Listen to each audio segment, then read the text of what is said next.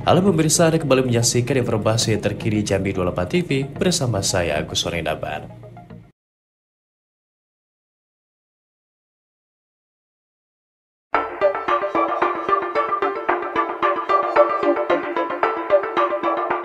Pemirsa Kabupaten Tanjung Jabung Timur yang merupakan daerah pesisir dengan kondisi tanah gambut serta memasuki musim kemarau, rawan karhutla.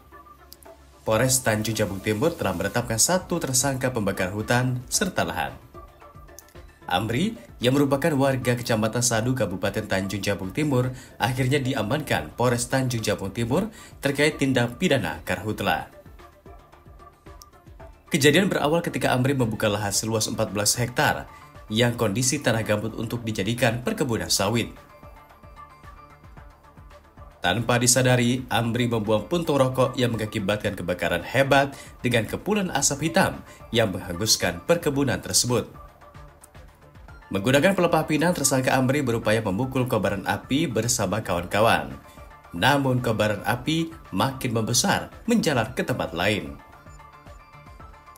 Atas kejadian ini pelaku serta barang bukti diamankan Polres Tanjung Jabung Timur. Ia dijerat dengan pasal 108 Jungto pasal 56 ayat 1 Undang-Undang Nomor 39 Tahun 2014 tentang perkebunan dengan ancaman 10 tahun pidana penjara. Tanggal 21 Juli 2024 sekira pukul 13.00 lokasi di Pari 8 Desa Sungai Sayang Kecamatan Satu, Kabupaten Tanjung Jabung Timur. Barang bukti yang dapat kita amankan di antaranya satu buah bibit sawit yang dalam kondisi terbakar. Mungkin teman-teman bisa melihat di hadapan kita. Berikutnya satu buah korek api mancis warna hijau, tiga potong kayu bekas terbakar, dua bungkus kotak kosong rokok merek Hadi dan satu botol mineral yang telah terbelah menjadi dua dalam kondisi terbakar. Dari kejadian tersebut diperkirakan lahan yang terbakar seluas 14 hektar.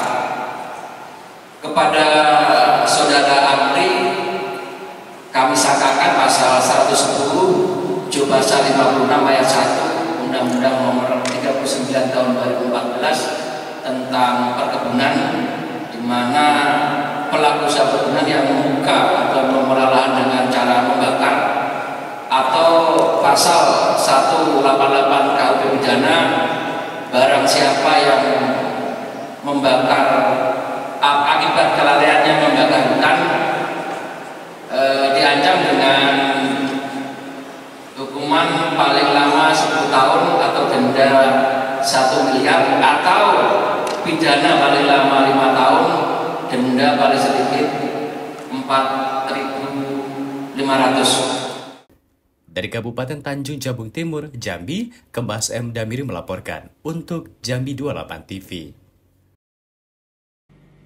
Pemirsa demikian informasi terkini yang dapat kami sampaikan untuk Anda saat ini dan nantikan kami kembali dengan informasi terkini lainnya. Saya Agus Sorindabar, sampai jumpa.